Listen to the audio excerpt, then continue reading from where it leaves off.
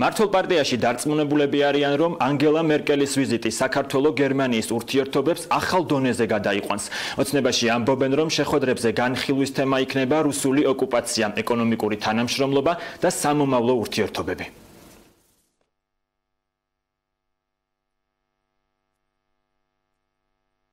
ხარდაჭერის გამოხატულება არის გერმანიის კანცლერის ვიზიტი, რომელიც რამდენიმე დღეში შედგება და ეს არის ძალიან მნიშვნელოვანი ვიზიტი და ძალიან მნიშვნელოვანი საკითხები განიხილება, რაც შეეხება შეხვედრას, რომელზეც თქვენ ბრძანდეთ, იქ განხილული იყო უშუალოდ ის ხელი წერტილები, სადაც დღესაც მიმდინარეობს საომარი მოქმედებები, საბედნიეროდ ჩვენ ამ ეს დღეს აქ არ ხდება, თუმცა ქვეყნის დეოკუპაციას არის უმთავრესი ამოცანა არა მხოლოდ ჩვენთვის, არამედ ჩვენი ყველა პარტნიორისთვის.